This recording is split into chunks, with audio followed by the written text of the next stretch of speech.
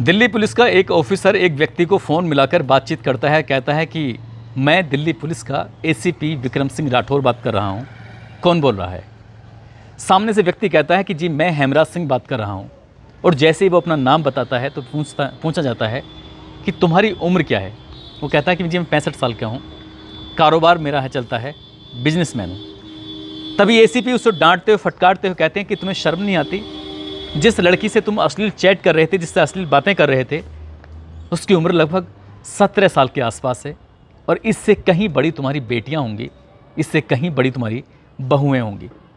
जैसे ही वो व्यक्ति ये बात सुनता है, एसीपी की डांट सुनता है, वो रोने लगता है, गिड़गिड़ाने लगता है, कहता है कि साहब मुझसे गलती हो गई है।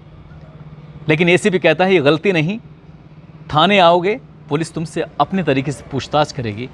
साथ ही जब तुम जेल जाओगे, बाकी की ज़िंदगी सलाखों के पीछे गुजारोगे और जब लोग तुमसे पूछेंगे कि आखिरकार हुआ क्या था, तब तुम्हें अपने किए पे पछतावा होगा। उस व्यक्ति ने कहा कि मेरी अपनी बड़ी साख है, लोग मुझे बहुत इज़्ज़त देते हैं, लोग मुझसे बहुत प्यार करते हैं, मुझसे भूल हो गई है, मुझे यही माफ़ कर दीजिए। बस इतना कहना था। इसके बदले में उसे लगभग अठारह लाख पचास हज़ार रुपये खर्च करने पड़ जाते हैं। तब भी उसकी जान नहीं छूटती। पुलिस इस मामले की जाँच करती है मुंबई से और दिल्ली से मुंबई की पुलिस राजस्थान पहुँचती है और दिल्ली की पुलिस हरियाणा पहुँचती है। और ये पता करने के लिए कि आखिरकार वो है कौन? तो पता चलता है कि एक सत्रह साल की लड़की है, जिसने अब तक लगभग 140 लोगों के साथ उसने ऐसा ही काम किया है। और जब पुलिस इन्हें पकड़ती है, गिरफ़्तार करती है तो ये चौंकाने वाली बात सामने आती हैं। ऐसी बातें जिसे सुनने के बाद शायद आप लोगों को सतर्क होना पड़ेगा। हर वक्त, हर दम कोई ना कोई अपने मोबाइल से लगातार पन्ने पलटता रहता है सोशल मीडिया के। और ये देखने की कोशिश करता है कि सामने बहुत अच्छा है, बहुत खूबसूरत है, लेकिन वो अच्छा जो दिखने वाला होता है, वो कई बार बहुत स्याह होता है, काला होता है। और उसकी कालिक जब अपने मुँह पर पुतती है तो ज़िंदगी बद से बदतर हो जाती है। आज की कहानी कई तरह के संदेश देगी। आदाब, नमस्कार शस्त्रीयकाल मैं उस्मान सैफ़ी। आज की जो सच्ची घटना मैं आपको सुनाने जा रहा हूँ, ये सच्ची घटना है दिल्ली प्रदेश का एक ज़िला है शाहदरा। दरअसल शाहदरा का रहने वाला एक व्यक्ति जिसका नाम फूलचंद होता है, उम्र लगभग उसकी अड़सठ साल के आसपास होती है, जो कि रिटायर्ड हो चुका है, घर में अकेला रहता है और अपने परिवार बच्चों के साथ रहता है। पत्नी नहीं है। इस व्यक्ति के पास 30 मई 2023 की रात लगभग 9 बजे के आसपास वीडियो कॉल आता है और जैसे वीडियो कॉल आता है, इस व्यक्ति ने जैसे उसको यस किया, उसे सुनने की कोशिश की, तभी उधर से आवाज़ आती है कि गलती से लग गया। दरअसल सामने जो है, वो एक लड़की है बेनतहा खूबसूरत लड़की है। शरीर पे कपड़े तो पहने हुए लेकिन उतनी मात्रा में नहीं पहने हुए। और जैसे ही फ़ोन आया था, कुछ ही सेकंड में फ़ोन कट जाता है। सिर्फ़ वो ही व्यक्ति था, फूलचंद, जो ये सब अपनी आँखों से देख चुका था। इसके बाद, कुछ देर के बाद वो बहुत जब तक वो फ़ोन आया था, काफ़ी देर तक वो बेचैन रहता है और जो उसमें तस्वीर दिखाई दी थी, एक खूबसूरत सी लड़की की, वो एक दिमाग में बस जाती है, आँखों में बस जाती है। समझ नहीं पा रहा था कि लगभग 20 मिनट बीत जाते हैं, एक बार फिर उसी नंबर से फ़ोन आता है। वीडियो कॉल आ रही थी। अब ये जो व्यक्ति है फूलचंद, ये यहाँ से जल्दी से दौड़ता हुआ एकांत की जगह में जाता है। एकांत ढूंढ रहा था कहीं ऐसा ना हो कि कोई और उसको देख ले। और ये कॉल इस बार कटी नहीं थी, बिल्कुल पूरी कॉल आई थी। एकांत में कमरे में जाता है, लाइट जलाता है, लाइट जलाने के बाद कमरा अपना बंद कर लेता है। और जैसे ही वीडियो कॉल को ओके करता है, ओके करते ही सामने एक बेहद खूबसूरत लड़की थी, जो पहले अभी ये कह रही थी कि गलती से फ़ोन लग गया था। वो लड़की थोड़ी सी बातचीत करती है, और बातचीत करने के बाद धीरे धीरे करके अपने तन से एक एक कपड़े को उतारने लगती है। वो बुज़ुर्ग आदमी भी उसके साथ वैसे ही करने लगता है, जैसा वो लड़की कर रही थी।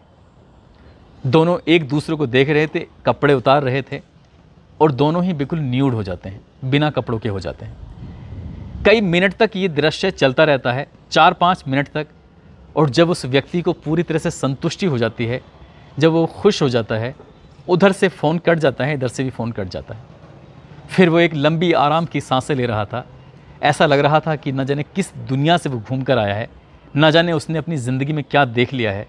बहुत ज़्यादा अपने आप को खुशी महसूस कर रहा था और कुछ देर के बाद एक फ़ोन आता है। और जैसे ही फ़ोन आता है, वो कहता है कि मैं दिल्ली पुलिस का एसीपी विक्रम सिंह राठौर बात कर रहा हूँ। अभी अभी जो तुम फ़ोन पर बात कर रहे थे, मुझे उस लड़की का कॉल आया है, मुझे उस लड़की की शिकायत मिली है। तुम एक छोटी सी बच्ची से इस तरह से भद्दी बातें कर रहे थे? उसके साथ ये अश्लील हरकतें कर रहे थे? जैसे ही उस बुज़ुर्ग व्यक्ति ने ये बात सुनी, उसके पैरों तले ज़मीन खिसक जाती है। वो सोचने पर मजबूर हो जाता है, वो समझ ही नहीं पा रहा था कि आखिरकार बात क्या है। वो लगातार डांट रहा था, फटकार रहा था और डांटते डांटते, फटकारते फटकारते वो व्यक्ति, बूढ़ा आदमी रोने लगता है, गिड़गड़ाने लगता है, रहम की भीख मांगने लगता है, कहता है कि जो हुआ है, इसे यहीं ख़त्म कर दीजिए। बात जब ख़त्म करने की आती है तो यहाँ से फिर पैसे के लेन देन की बात शुरू हो जाती है। और पैसे के लेन देन की बात शुरू होती है तो उसके अकाउंट में सैंतालीस हज़ार रुपये थे। एक कोड भेजा जाता है और जैसे ही उस कोड पर क्लिक किया जाता है क्लिक करते ही उसका अकाउंट उससे मर्ज हो जाता है और कुल मिला के पैसे सैंतालीस हज़ार रुपये थे, सब निकल चुके थे। वो समझ नहीं पा रहा था। बार बार धमकियाँ मिल रही थी कि पैसे और देने पड़ेंगे। यदि पैसे और नहीं दिए तो ये तुम्हारी जो वीडियो है, तुम्हारे जो फोटोग्राफ्स हैं, ये सोशल मीडिया पर अपलोड कर दी जाएँगे। तुम्हारा जो घिनौना, गंदा चेहरा है, वो समाज को दिखाया जाएगा। तुम्हारे परिवार में फला फला लोग रहते हैं, उनको भी ये चेहरा दिखाया जाएगा। जब कुछ ऐसी धमकियाँ, धमकाने वाली बातें हुई, वो बुज़ुर्ग व्यक्ति रोने लगता है, गिड़गड़ाने लगता है। अभी जो उसके पास पैसे थे, अभी जो वो एसीपी से छूटा था, विक्रम सिंह राठौर ने जो उसे सैंतालीस हज़ार रुपये लेकर उसकी जान बख्शी थी, उसके पास कई और अधिकारियों के फ़ोन आने लगते हैं। एक जून आता है, दो जून आता है, लगातार एक एक दिन बीतने लगता है और धमकियाँ लगातार मिलने लगती हैं। इधर धमकियाँ मिल रही थी, इधर वो व्यक्ति बहुत ज़्यादा परेशान हो जाता है। हार कर थक कर पाँच जून 2023 को थाने पहुँचता है निकटतम और वहाँ जाने के बाद। वो पूरी कहानी बयां करता है कि आखिरकार उसके साथ हुआ क्या है। अब उसके पास कोई पैसे नहीं बचे। जो भी उसके पास जमा पूंजी थी, उसने वो दे दी। वो रिटायर्ड ऑफिसर है इज़्ज़तदार व्यक्ति है। वो बाकी पैसे किसी से मांग भी नहीं सकता। इसलिए मेरी मदद करो। पुलिस के पास जाता है, अपनी बात कर रहा था। ठीक ऐसा ही एक मामला मुंबई के बांद्रा पुलिस स्टेशन का होता है। वहाँ भी एक बुज़ुर्ग व्यक्ति जिसका नाम हेमराज सिंह होता है। वो भी जाकर अपनी कहानी बताता है कि एक मिसकोल्ट जैसी आई थी। थोड़ी सी बातचीत हुई थी, उसने कहा कि गलती से फ़ोन लग गया था। उसके बाद दोबारा से फ़ोन आता है और दोबारा से फ़ोन आने के बाद बातचीत का सिलसिला शुरू ही नहीं हुआ था कि उस लड़की ने अपने तन से एक एक कपड़े उतारने शुरू कर दिए और हेमराज सिंह ने भी ठीक वैसा ही करना शुरू कर दिया।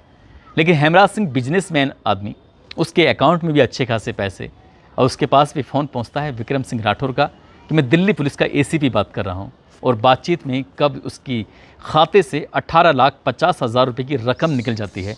और उसके बाद भी बात यही नहीं थमती जब लगातार उसे धमकियाँ दी जाती हैं कि पैसे और चाहिए।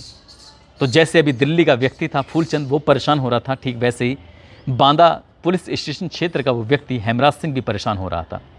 और इसके बाद जब ये निकटतम थाने में जाते हैं अपनी अपनी एफ़ दर्ज कराते हैं तब वो एफआईआर के माध्यम से, जो जिस फ़ोन के माध्यम से बातचीत करने की कोशिश की गई थी, सर्विलांस पे लगाया जाता है, सर्विलांस पे लगाने के बाद ये पता करने की कोशिश की जाती है कि आखिरकार फ़ोन कहाँ से आया है, किसने किया है। तो जो हेमराज सिंह को फ़ोन किया था, वो राजस्थान के भरतपुर है, वहाँ का एक थाना है गोपालगढ़, और गोपालगढ़ का एक गाँव लगता है पीपलखेड़ा। ये फ़ोन तो वहाँ से किया गया था, जो हेमराज सिंह को फ़ोन किया गया था। लेकिन फूलचंद को जिसने फ़ोन किया था, वो फ़ोन किया था मेवात एक जगह है हरियाणा में। उसी का एक गाँव लगता है। आ, उसका गाँव का नाम मैं अमाई अमाईपुर गाँव का नाम है। अमाईपुर से फ़ोन पहुँचा था। अब पुलिस दिल्ली की भी हो और चाहे पुलिस मुंबई की हो दोनों अपने अपने हिसाब से पहुँच जाते हैं। मुंबई की पुलिस ने भी उन लोगों को गिरफ़्तार कर लिया। राजस्थान के भरतपुर भरतपुर का थाना गोपालगढ़ और गोपालगढ़ का गाँव पीपल खेड़ा वहाँ का एक लड़का था जिसका नाम आरिफ मेब होता है। और दूसरे का नाम रामवीर प्रजापति होता है।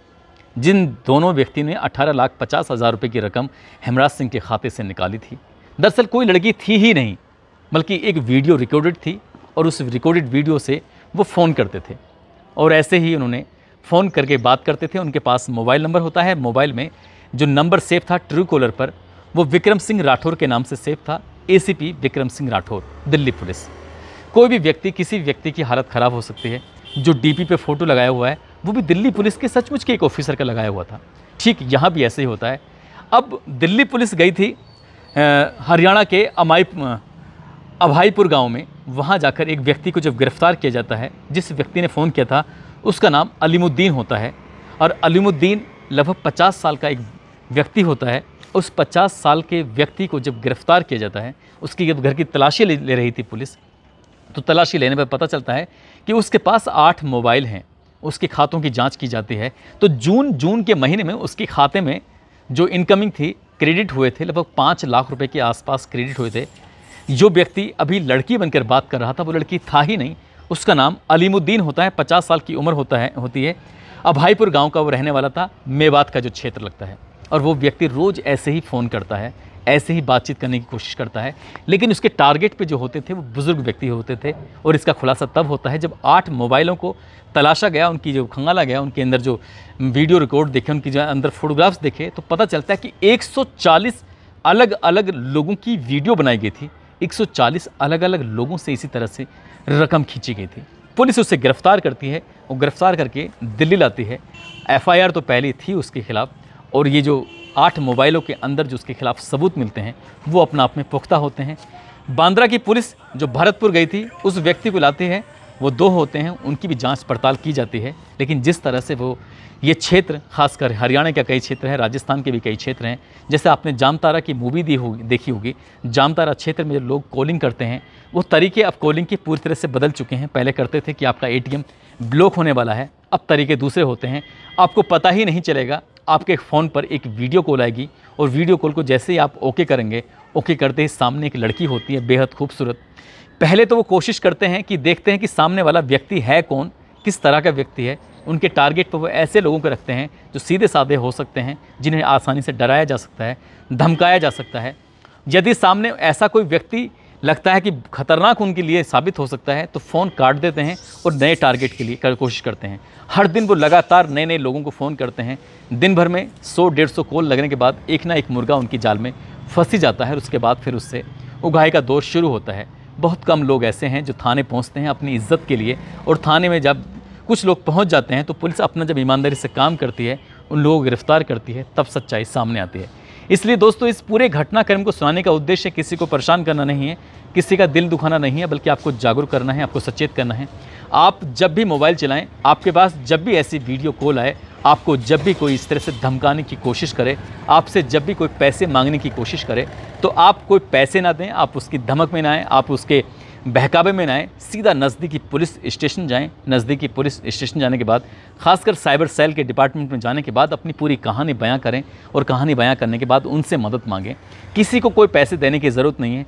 आजकल तो लिंक आता है, लिंक जैसे ही आपके पास आएगा, वो कुछ पैसे निकालेंगे, क्योंकि वो सारा मोबाइल का जो एक्सेस है, वो आपके सामने क्रिमिनल व्यक्ति के पास होता है। उस खाते से एक रुपये भी निकलता है तो आपके मोबाइल में उसका मैसेज नहीं जाएगा, बल्कि उसी के मोबाइल में मैसेज आएगा।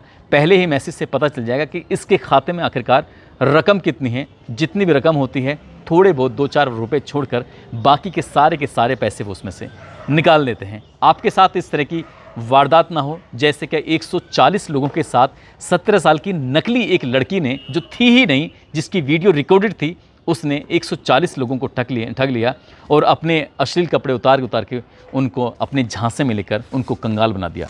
आपके साथ ऐसा ना हो, इसलिए ये कहानी सुनाई गई है। और जाते जाते कुछ लोगों ने नाम लेने की अपील की थी। बिहार के अमित लोढ़ा हैं, कुलदीप सिंह चीमा हैं, जालंधर के इमरान हुसैन हैं, मुबारक खान हैं, मेवात के सोनिया पाल हैं, सोनित पाल मुजफ्फरनगर के हैं। सतीश प्रजापति हैं, गोरखपुर के फ़ाइम चौधरी मुरादाबाद से हैं, नौ, नौशाद आलम, शमशेर अहमद, बलदेव राणा दिल्ली से, शाहिन शेख दिल्ली से हैं। आप सब लोग अपना ख्याल रखें, सुरक्षित रहें। जय हिंद, जय भारत।